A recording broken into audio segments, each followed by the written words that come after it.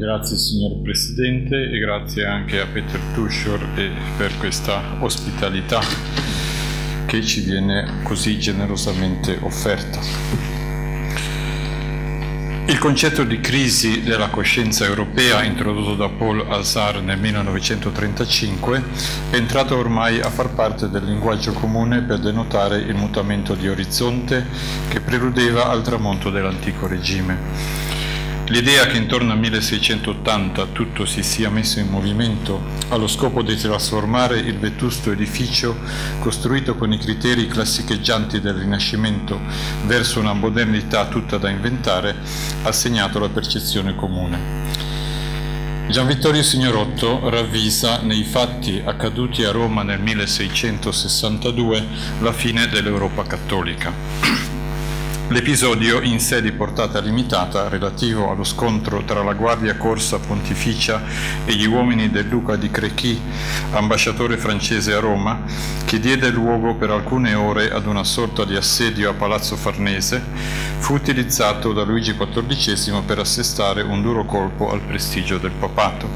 mettendo in atto l'occupazione di Avignone e minacciando l'invasione armata dello Stato della Chiesa. Si chiudeva così un'epoca iniziata negli anni 60 del secolo precedente in coincidenza con la fine del pontificato di Paolo IV Carafa e l'ascesa al soglio pontificio di Pio IV Medici, cronologicamente coincidenti con la chiusura del Concilio di Trento e l'inizio della preponderanza spagnola non solo in Italia ma anche in Europa. Un secolo che aveva visto il rapido sorgere e forse l'altrettanto rapido tramontare dell'ideologia tridentina, segnato da una serie di fenomeni che la storiografia dei decenni passati ha voluto definire con il termine di confessionalizzazione, che si sarebbe attuata attraverso il controllo delle coscienze.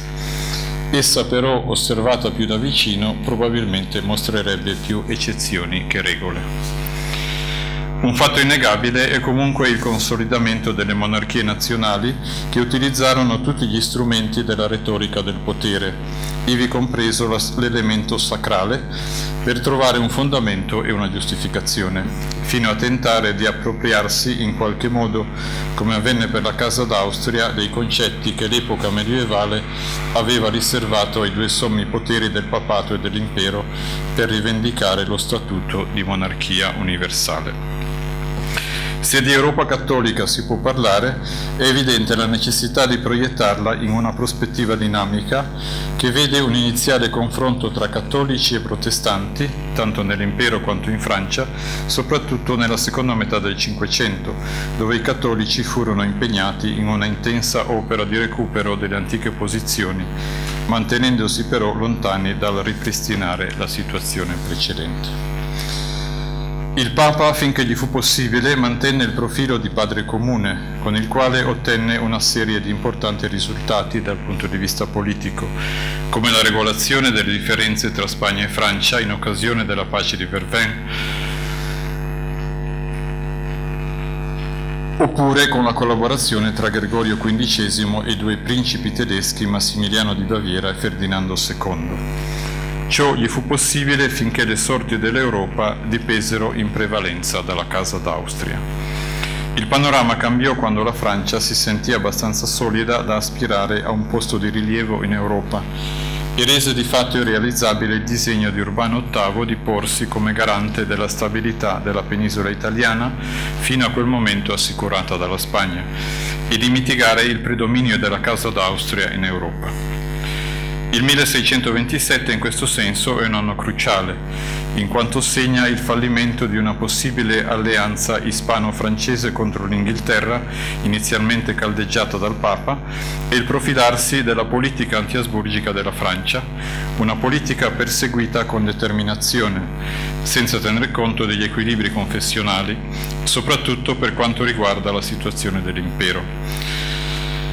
Si trattò di una pura politica egemonica condotta da Luigi XIII e da Richelieu, disposta anche a sacrificare le sorti del cattolicesimo dell'impero, oppure i due reggitori della Francia ritenevano le istituzioni cattoliche dell'impero sufficientemente solide da resistere anche ad un attacco armato? A differenza di Clemente VIII, Urbano VIII non fu in grado di proporre le coordinate di un nuovo ordine europeo, per cui si ritrovò spesso ai margini, come si può constatare dall'esito del Trattato di Monzon del 1626 e dalla sorte del mancato congresso di Colonia del 1636, un isolamento prolungatosi anche nei successivi decenni del secolo. La combinazione di due elementi, la debolezza propositiva del papato, che alla fine del Cinquecento rafforzò idealmente i confini confessionali della penisola italiana, e la rinnovata coscienza sacrale dei sovrani, condusse alla strutturazione di chiese di Stato, anche se non chiuse nell'ambito statale come quelle protestanti, ma aperte ad una sorta di triangolazione dialettica tra il sovrano, il clero locale, in particolare l'alto clero, e il Papa, considerato come centro e garante dell'unità cattolica, ma legittimato solo in parte ad intervenire nella vita delle chiese locali.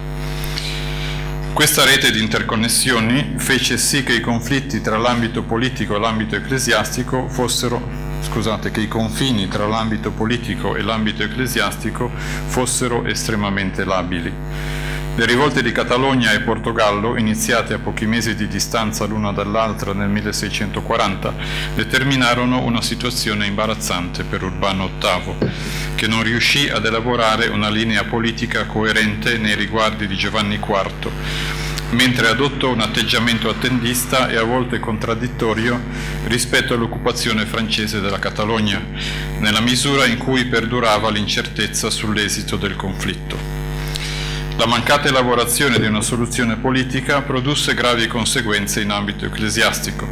prima fra tutte l'incerta situazione delle chiese di Portogallo, rimaste a lungo vacanti perché il Papa non si decise a scegliere tra i candidati proposti da Filippo IV e quelli presentati dal re recentemente insediato, nonostante fossero state avanzate proposte di compromesso mentre in Catalogna si fece strada l'idea di riconoscere il candidato proposto dal sovrano che in quel momento controllava militarmente il territorio della diocesi. A dispetto delle teorie belarminiane sulla visibilità della Chiesa, o forse proprio a causa dell'insistenza del cardinale e teologo gesuita su tale aspetto, il rapporto tra Santa Sede e realtà statali si misurò sulla categoria del conflitto, il conflitto tra Paolo V e Venezia vide soccombere la Serenissima, probabilmente perché i suoi appoggi erano troppo esigui. Infatti nel 1611 e nel 1618 provvedimenti simili a quelli che avevano dato origine allo scontro furono promulgati da Filippo III per il Portogallo e per le Fiandre, senza che la Santa Sede intervenisse se non con proteste tutto sommato rituali. Nel corso del Seicento la categoria del conflitto di giurisdizione connota i rapporti tra la Santa Sede e la monarchia spagnola, per quanto riguarda una serie di questioni agitatesi nei territori iberici. In maniera ancora più animata, se possibile, ciò avvenne negli stati della penisola italiana, indipendentemente da chi fossero governati, a partire dalla convinzione che l'Italia fosse sottoposta ad una particolare tutela del pontefice. È interessante constatare che nel periodo in cui la bolla in cena domini giungeva allo stadio di elaborazione definitiva, si assistette ad un rapido e costante aumento della conflittualità in relazione alle materie miste, non tanto come conseguenza dell'attuazione dei decreti tridentini, quanto piuttosto di una estensione delle competenze dell'autorità civile su ambiti tradizionalmente regolati dalle norme canoniche. In Portogallo la problematica del conflitto tra la legislazione del regno e i diritti rivendicati dalla sede apostolica si pose già negli anni 70 del Cinquecento durante il governo del re Sebastiano e con il passare del tempo si sviluppò in una successione di gravi conflitti tra i collettori pontifici e le autorità locali. Nel giro di pochi anni si succedette una serie di interdetti lanciati su Lisbona da collettori troppo precipitosi o forse incapaci di gestire in modo corretto situazioni conflittuali. Fabrizio Caracciolo nel 1608-609,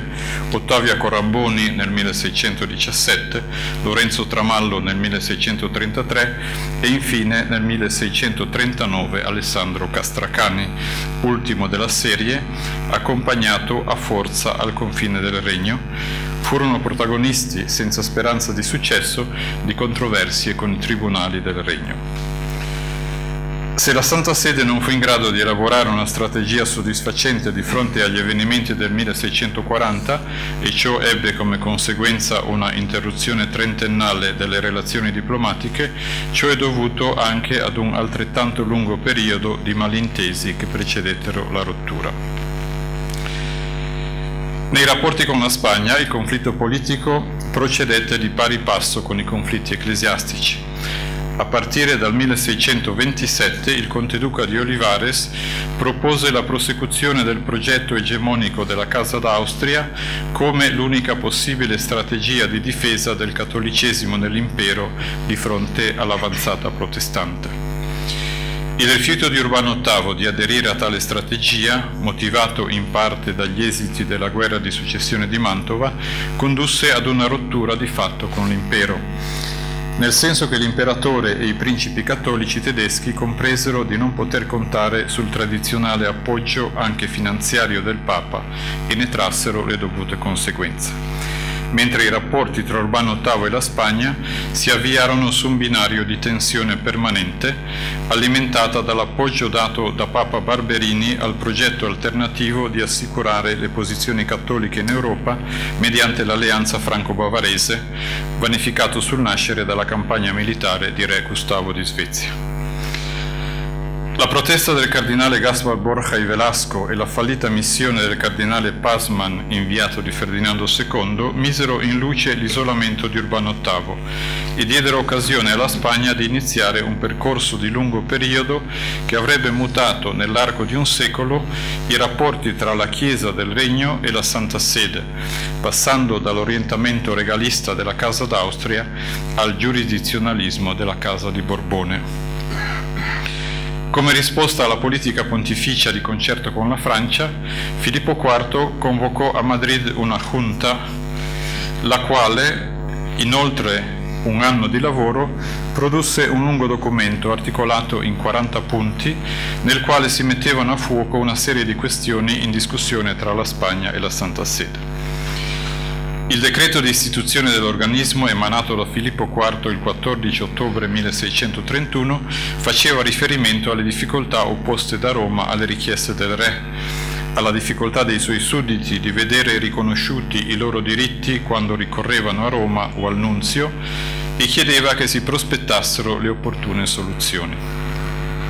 Il sovrano chiedeva lumi circa gli abusi di Roma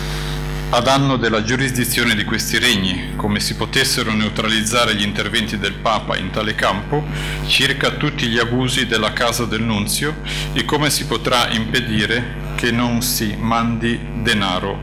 o meglio che non si estragga denaro dalla Spagna. La Junta doveva inoltre suggerire come si potessero mettere in pratica i decreti tridentini, dato che il re si riteneva responsabile della loro applicazione nei suoi regni e occuparsi di tutta una serie di questioni che riguardavano la tutela degli interessi del re e del regno presso la curia romana. Il documento inizia esaminando i titoli di sovranità del Papa. In quanto vescovo di Roma, successore di San Pietro, capo della Chiesa e vicario di Dio in terra, gli competono la potestà ecclesiastica e la potestà spirituale per diritto divino in quanto principe temporale il suo potere è regolato dal diritto umano e dalle donazioni degli imperatori. In quanto tale dunque non gode di alcuna preeminenza sugli altri principi. Da parte sua il re, essendo monarca supremo, gode di una potestà indipendente dal romano pontefice per il fatto che è ricevuta direttamente da Dio. Nelle cose del governo politico ordinate a fini soprannaturali è necessario seguire le indicazioni del Papa. Qualora ciò non si verifichi, el pontifice no ha de tener la mano en el gobierno temporal. L'ottica nella quale è sviluppato il discorso nel suo complesso emerge dall'enunciato della seconda questione. Se il pontefice comandasse cose ingiuste o contrarie all'autorità reale o in pregiudizio del regno, si domanda,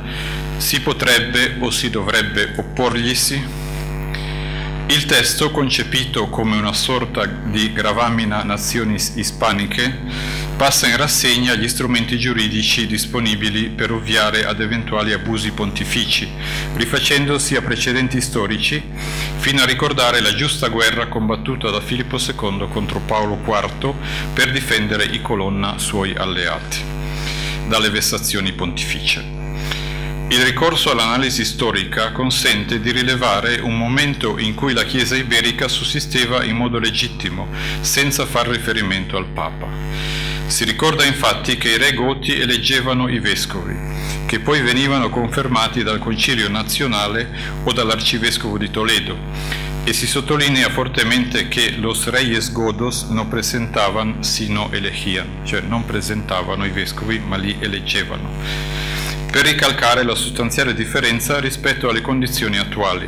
risalenti ad un periodo relativamente recente, ossia ai primi decenni del secolo precedente. Inoltre i re spagnoli possedevano il diritto di patronato per il fatto di aver cacciato i mori dal suolo iberico e aver trasformato le moschee in chiese, per aver fondato chiese dove prima non esistevano e per averle dotate e arricchite con i loro doni. Il discorso quindi non si limita a proporre un metodo per risolvere situazioni irregolari o abusive, ma mediante una reale ricerca storica, non una proiezione mitica, prospetta la possibilità, benché remota, di costituire una Chiesa autoctona indipendentemente dal Papa, basandosi sul fatto che un tale organismo era già esistito in modo del tutto legittimo e quindi sussisteva un precedente reale e riproducibile. Si richiamava inoltre, anche se in via del tutto ipotetica, la possibilità di convocare un concilio ecumenico per moderare e reprimere il pontefice qualora se ne verificassero le condizioni. Chiaramente la ricerca della vera Chiesa, avviata dalla storiografia e dalla teologia protestante in chiave polemica contro le pretese egemoniche della Chiesa di Roma, aveva fatto scuola e tale categoria era applicata, sempre in chiave antiromana, anche dalle Chiese nazionali cattoliche. Un secondo grande capitolo era costituito dagli eccessi esorbitanti commessi dal Nunzio, gli si rimproveravano una diffusa corruzione, gli alti costi della cancelleria, l'avvocare al suo tribunale molte cause in prima istanza, contravvenendo al dettato del Concilio di Trento, la violazione delle leggi del regno, le indebite interferenze nel governo dei religiosi. Nell'esercizio dei suoi poteri di collettore generale della Camera Apostolica, le situazioni irregolari si moltiplicavano, amplificate ulteriormente dagli abusi commessi dai subcollettori e da altri collaboratori che godevano di particolari esenzioni. La soluzione proposta consisteva nel chiedere al Papa di nominare un legato nato o un vescovo al quale attribuire le facoltà di cui godeva il nunzio, il quale fosse ovviamente natural e confidente, cioè suddito del regno e fedele al re. In quanto suddito del re avrebbe rispettato le leggi del regno e gli ordini del sovrano, mettendo così fine agli abusi. Inoltre, potendosi mantenere con le rendite relative al suo beneficio, avrebbe potuto eliminare le tasse della cancelleria. Una volta stabilito un siffatto nunzio, coadiuvato da collaboratori sudditi dei regni di Spagna, l'obiettivo era stabilire una rota spagnola come tribunale di suprema istanza per le cause ecclesiastiche, in modo da evitare il ricorso ai tribunali romani. Infine, per riordinare tutta la materia, riprendendo un suggerimento del cardinale Albornoz, si proponeva di stipulare un concordato sul modello di quanto aveva fatto la Francia nel 1516. Questo particolare è citato proprio nel memoriale.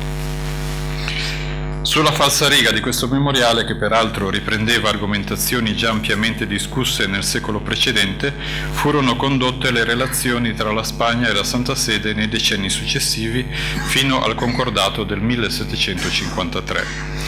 Nell'immediato esso servì come quadro di riferimento per la missione straordinaria del domenicano Domingo Pimentel, vescovo di Cordova, e di Juan Ciumacero Carriglio, membro del Consiglio di Castiglia,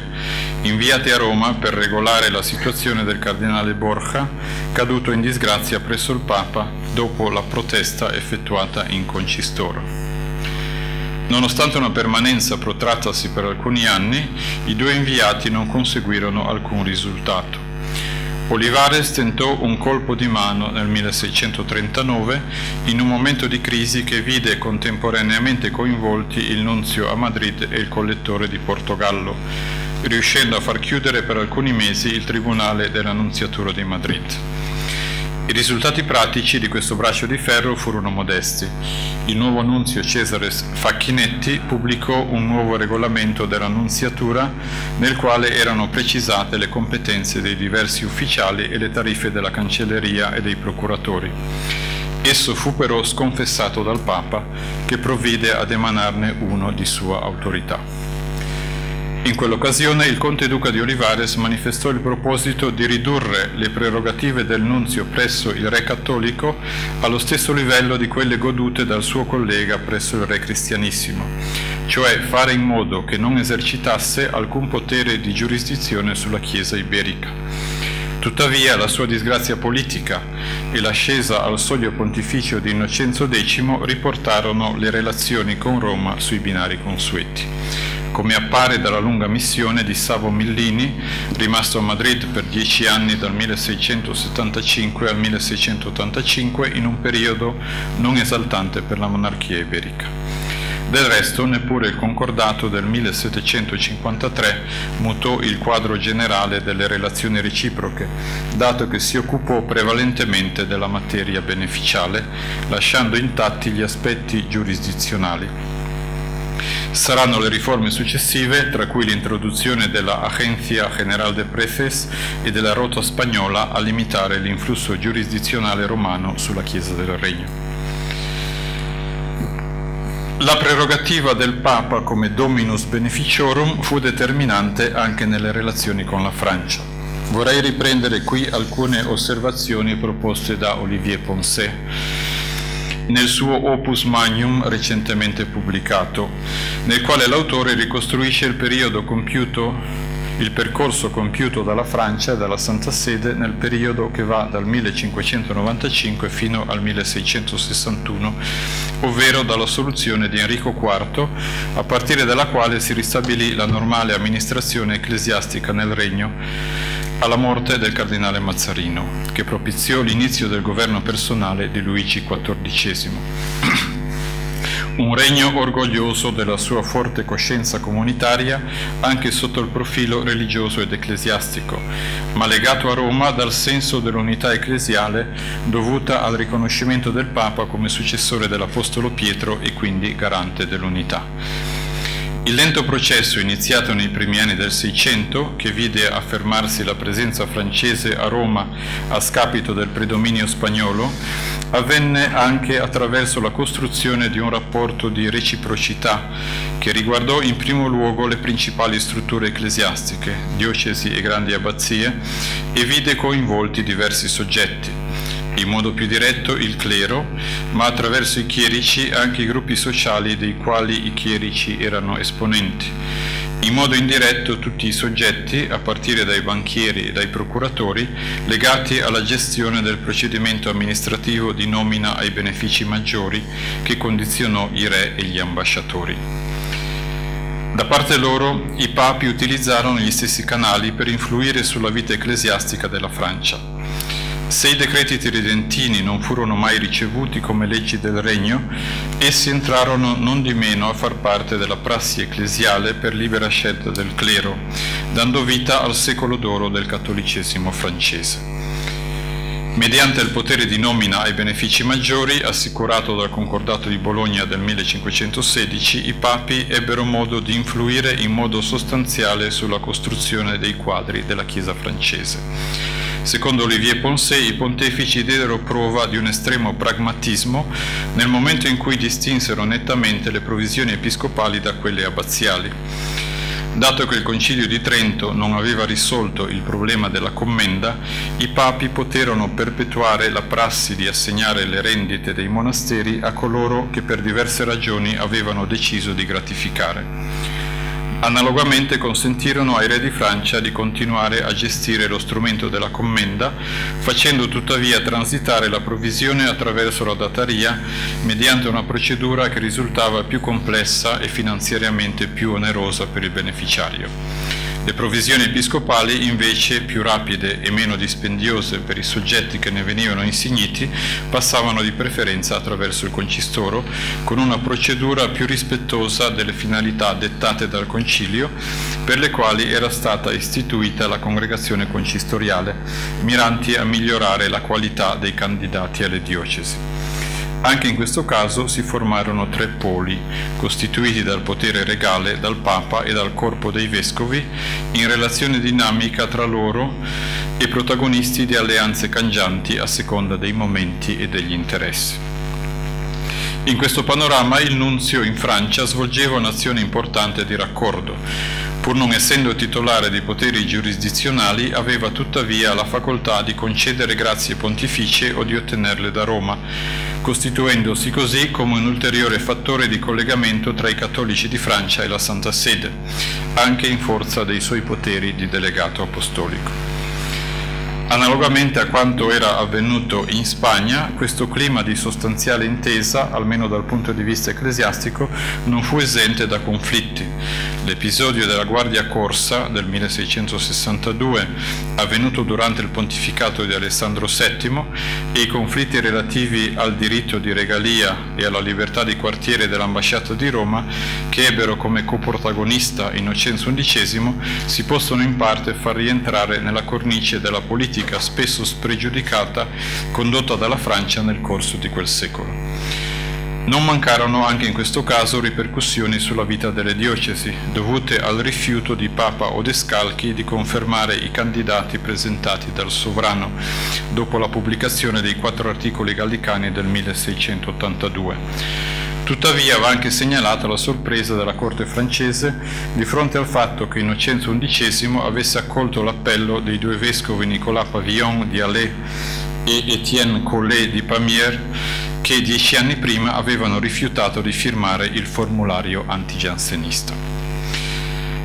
L'episodio che vide protagonisti i due vescovi della Francia meridionale mette in luce la varietà di approcci e la trasversalità delle alleanze. L'opposizione tra i giansenisti e il re per ragioni politiche e tra i giansenisti e i gesuiti per ragioni dottrinali si proiettarono sulla corte di Roma, dividendo i simpatizzanti del partito francese e suscitando anche posizioni diversificate nella stessa persona. Il cardinale Francesco Albizzi, ad esempio, uno dei protagonisti della curia romana nella seconda metà del Seicento, si oppose a Luigi XIV nel conflitto della regalia mentre per altri aspetti può essere ritenuto un suo simpatizzante perché lo considerava l'unica autorità in grado di sconfiggere il giansenismo nel suo regno. Un elemento di discontinuità rispetto alle situazioni di Francia e Spagna è offerto dal recente saggio di Antonio Menniti Ippolito, 1664, un anno della Chiesa universale. La ricerca effettuata su diversi fondi dell'Archivio segreto Vaticano mostrano come l'attività della curia romana in quegli anni fosse concentrata sull'Italia, in particolare sull'area centro-meridionale della penisola. Si rivolgevano alla curia soprattutto i laici, persone singole o comunità, spesso per lamentare abusi o lentezze da parte degli ecclesiastici, descrivendo situazioni che non di rado si trascinavano per un, per un tempo indeterminato. Va comunque rilevato che l'autore, per evidenti ragioni, non prende in considerazione l'attività del Sant'Ufficio e di propaganda fide. La discrasia può essere compresa confrontando le differenti modalità con cui la Santa Sede interveniva nel regime interno delle diverse chiese. Rispetto alla Francia, la Santa Sede intratteneva rapporti istituzionali definiti dal Concordato in rapporto alle provvisioni beneficiali, mentre il Nunzio, pur privo di poteri giurisdizionali, manteneva solide relazioni informali con le elite locali. In Spagna le nomine ai benefici maggiori erano regolate in ultima analisi dagli accordi intercorsi tra Clemente VII e Carlo V, che confermavano intese precedenti, mentre il nunzio aveva ampi poteri di giurisdizione, più volte contestati, ma limitati solo verso la fine del XVIII secolo.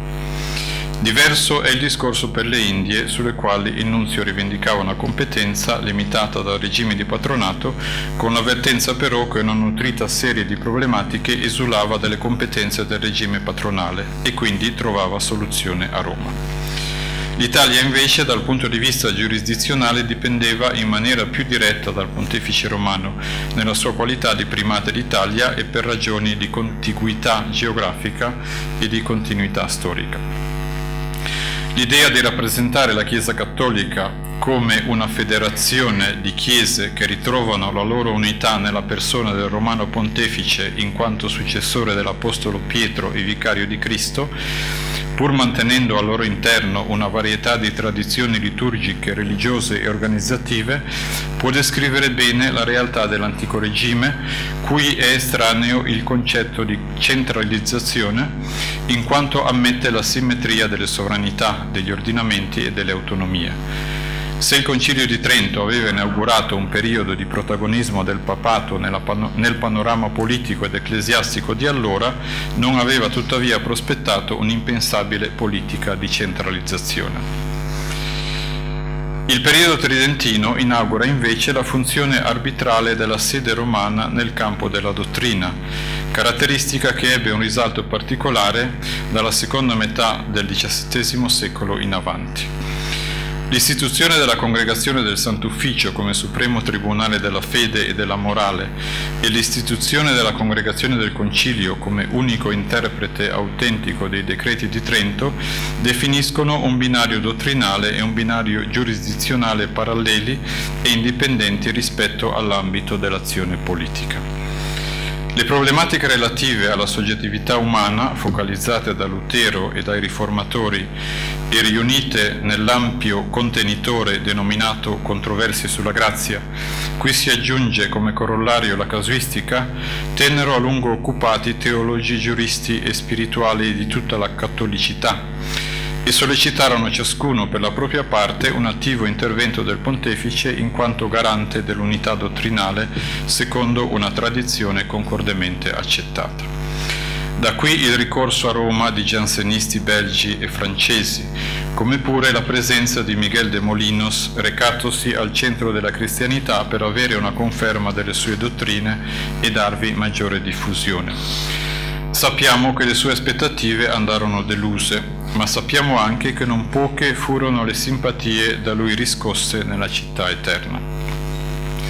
Più complesso il problema del rapporto tra Santa Sede e giansenismo. Gli studiosi hanno da tempo chiarito l'eterogeneità di significati che coabitano all'ombra di un albero estremamente frondoso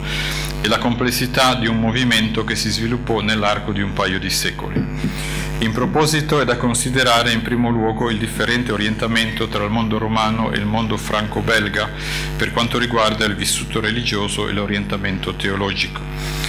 La riflessione culminata con l'approvazione da parte dell'Assemblea del Clero di Francia dei quattro articoli del 1682 definisce in primo luogo un modello di Chiesa nella quale i vescovi si sentivano coinvolti insieme al Papa e al suo stesso livello della cura dei fedeli loro affidati corresponsabili non solo negli aspetti pastorali, ma anche nella custodia del patrimonio dottrinale, quella tradizione con la T maiuscola che il Concilio di Trento aveva definito come fonte della rivelazione al pari della scrittura.